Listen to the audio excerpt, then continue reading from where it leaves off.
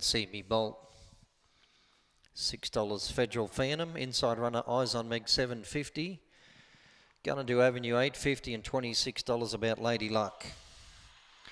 Field set for race 8. Best state over the 380. All set, ready.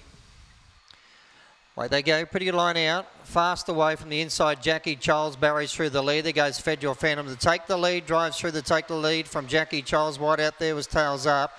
Then followed by Blazing Infrared, Eyes on Meg, uh, Lady Luck next, and followed by Gunadoo Avenue and uh, Me Bolt. But onto the corner, Federal Phantom in clear.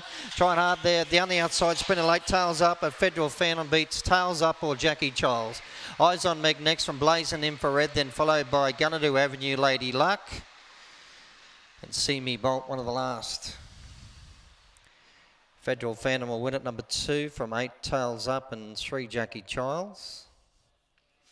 22.02 is the run, one fourth in, eyes on Meg.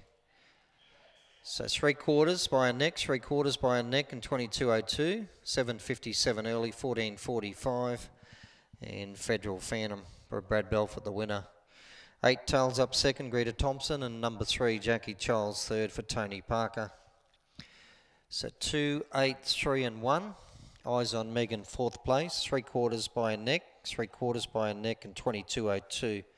Splits of 7.57, a run home time of 14.45. So 2, 8, 3, 1, the numbers in race 8, three quarters by a neck in a time of 22.02.